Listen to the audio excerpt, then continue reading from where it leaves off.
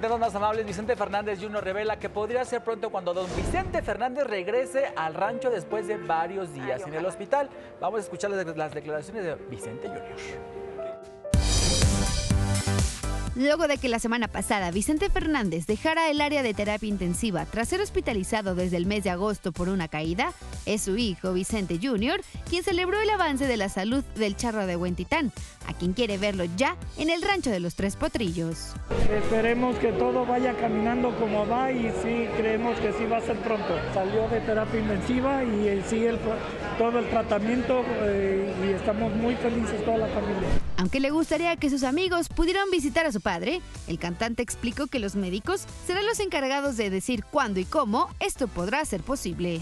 Eso lo va a decir los doctores. Aquí está tu papá en piso, pueden visitarlo, ahora sí nietos y toda la familia, amigos, conocidos todos ya. Ahorita pura familia.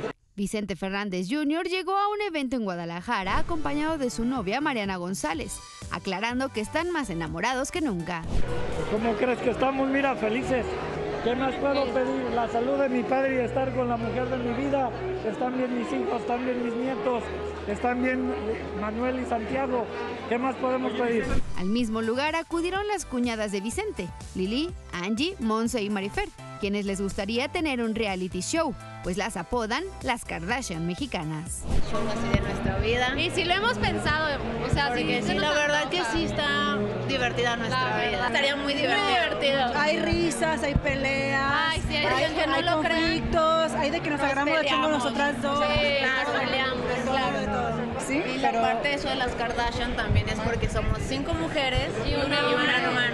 Con información de Eliud Arce desde Guadalajara, Jalisco, continúa en Sale el Sol. Qué bueno por don Vicente, ya son dos meses, Sí. agosto, septiembre, octubre, bueno, casi más de dos meses, tres meses Sí. en el hospital.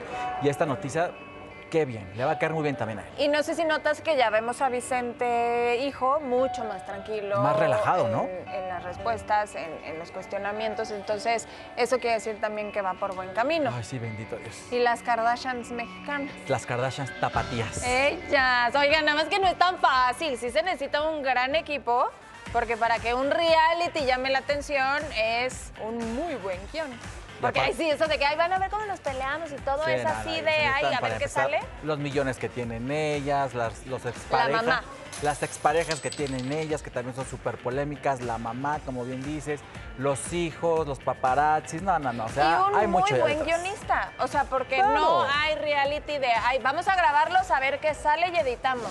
No, todo lleva guion y necesitas un muy buen guionista. Además, Organiz- una mamá. Organizar actividades, fiestas, hasta los mismos pleitos, o ya sabes qué dijo ella de Sí. ti, ya sabes lo que, o sea, no, no, no, es de verdad, como dices tú, muchísimo trabajo detrás. Sí, no solo el cuerpo y las cirugías es lo que se necesita.